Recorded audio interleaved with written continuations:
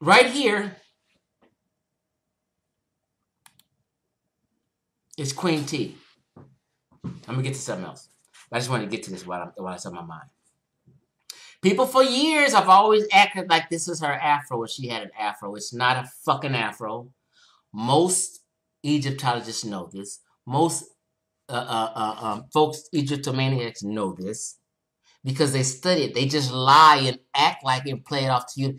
It's a fucking headdress and a wig. It's not hair. You see right here, this used to be an uraeus.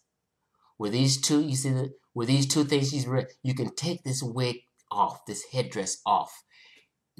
Queen Tiye was not black. This is Queen Tiye right here, the mummy. She has North African hair.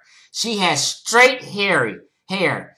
It's a little curly, but she has straight hair. She does not have tightly coiled, woolly hair. They've been lying to you. This is Queen Tiye's hair. She is not a woolly haired black African. She's a North African. Her affinities and DNA is of the same stock.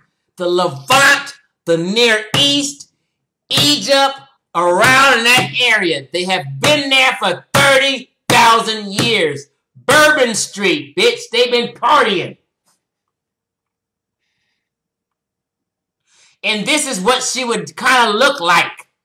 With this same hair in person, but dead.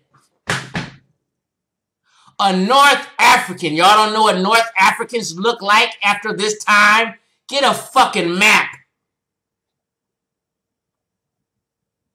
Queen Tiye did not have kinky, nappy hair. They lied to you. That is a headdress that she has in that picture, in this picture.